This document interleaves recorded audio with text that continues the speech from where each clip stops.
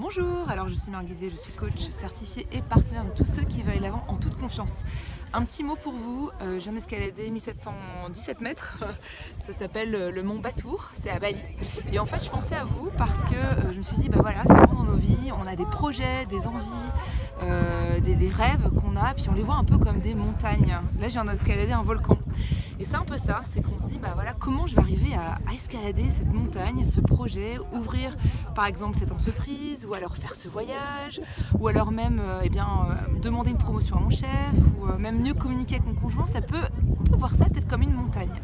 Et en fait, mon astuce pour vous aujourd'hui, ben, c'est d'abord de voir ça, eh ben, par étapes. Souvent, quand on voit ça par étapes, comme on a fait aujourd'hui, on a escaladé, on ne pouvait pas escalader 1700 mètres en une seule fois. On s'est arrêté et eh bien, tous les peut-être 400 mètres pour prendre une pause, euh, boire, un, peu d'eau, prendre soin de soi. Et en fait, c'est mon invitation pour vous, c'est ben, quand vous avez un projet comme ça qui vous tient tant à cœur, simplement ben, de s'accorder des pauses et de voir les choses étape par étape. Et vous verrez, vous verrez les choses beaucoup plus facilement. Ce sera beaucoup plus accessible pour vous. Et puis surtout, vous apprécierez le chemin, vous apprécierez le paysage.